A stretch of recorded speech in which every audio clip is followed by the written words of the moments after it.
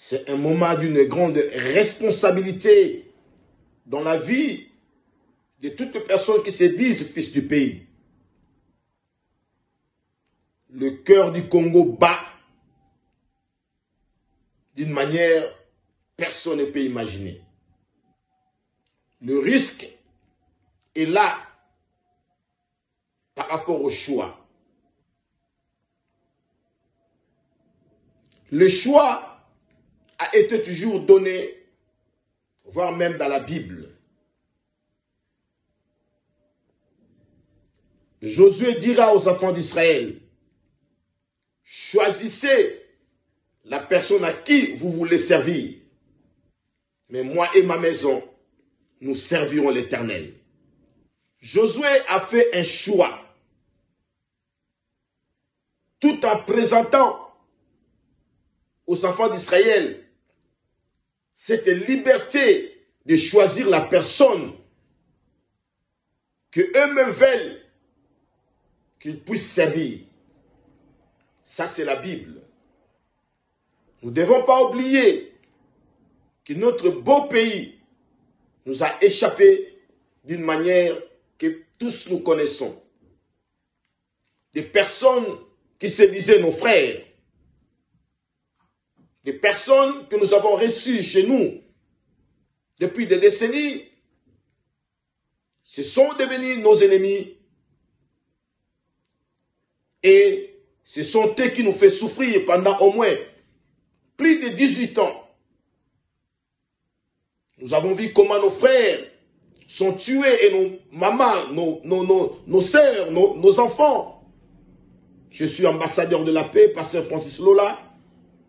Je sais ce que je suis en train de déclarer. J'ai été dans beaucoup de réunions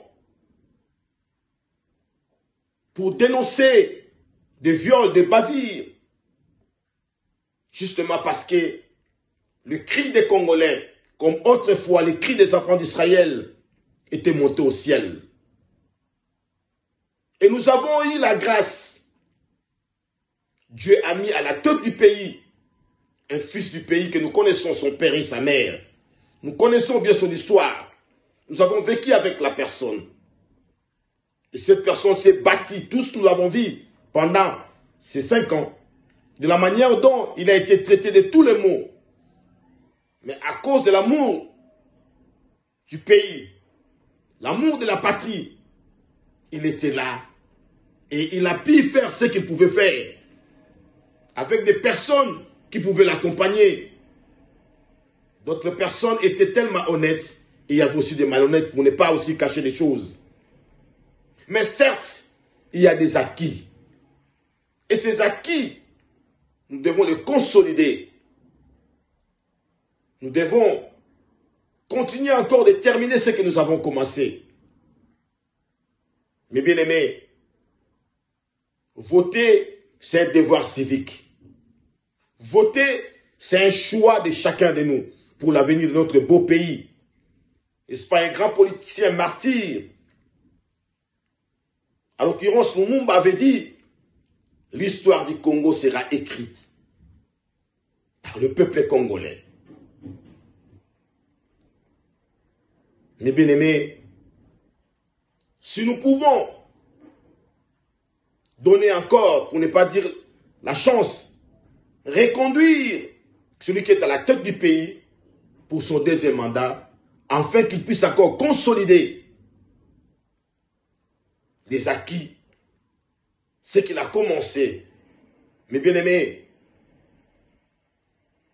quand je regarde la personnalité de cet homme, il a l'amour du pays et il est déterminé, il est constant et il a la ténacité. Pour la première fois, je vois une personne qui est mon président qui dit, cette fois-ci, je vais demander aux deux chambres de me donner le pouvoir. Si nous sommes taqués, nous allons déclarer la guerre. Et nous avons vu à la veille les ennemis du Congo. La personne qui, était le président de la CENI se déclare dans l'opposition avec des rebelles. Allez-y comprendre que nous avons des ennemis partout dans le monde à cause de notre beau pays, le Congo. L'heure de notre choix est arrivée. Nous devons voter le candidat numéro 20. Pourquoi?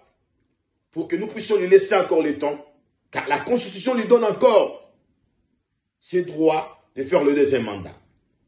Loin de moi la sous-estimation de tous les candidats.